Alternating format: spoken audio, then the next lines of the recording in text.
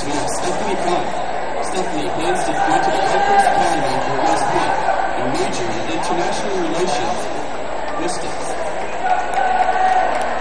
From Benton High School we have Sam Varda. Sam, plans to be landscape Marshall and major in performing arts.